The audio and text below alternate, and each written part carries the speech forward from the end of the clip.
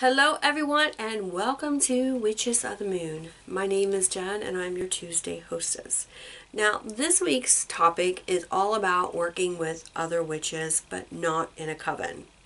And for those of you who are solitary and may not have um, any witches who live around you or may not think other witches live around you, there are some things that you can do in order to participate and work with other witches.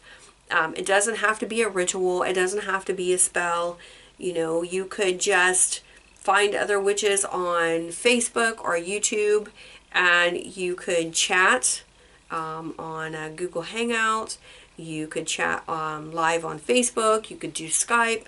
There's numerous ways that you would be able to connect live with people. I mean, cell phones.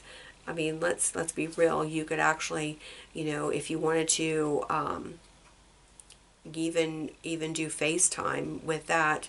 And even if you are doing a ritual, you guys could do that together. Um, or like I said, you could just hang out and talk.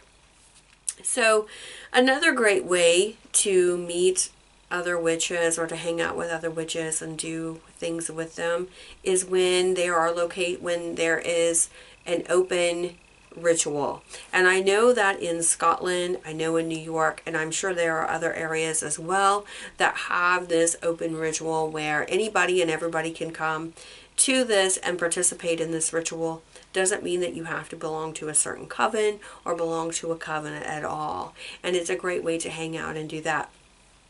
You know, if you know some witches who are going to be vacationing in your area, you know, maybe you guys could meet up somewhere, go to dinner, have lunch, have coffee, you know, whatever, and just kind of do some shopping or something and hang out. Renaissance festivals is another great place. And there's also retreats. Um, there are pagan retreats, and that might be something that you might consider, especially if you're a solitary practitioner and would really like to interact with some other pagans or witchy people. Um, you know, lucky for me, I do have members of my paranormal group who are witches. Now, I don't get to see them all the time, but when I do, it's absolutely amazing. We do try to get together, not just for paranormal investigations, but we go out to dinner.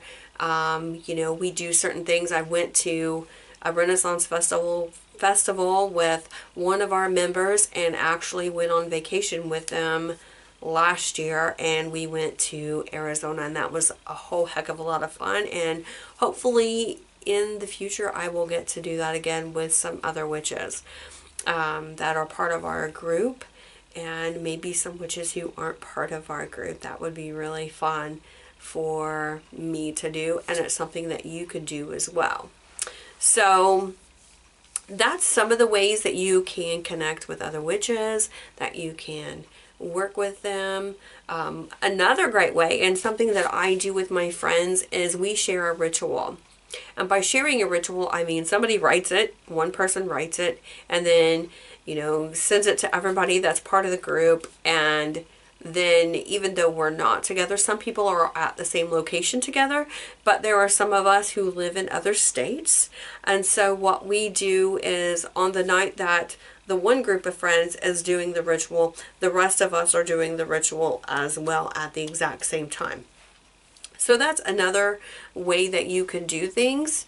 Um, and it's something that we do. Again, if you're going to, um, you know, do some spell work, you could do that together and um, pass the spell out, have everybody have the same supplies and go with it that way.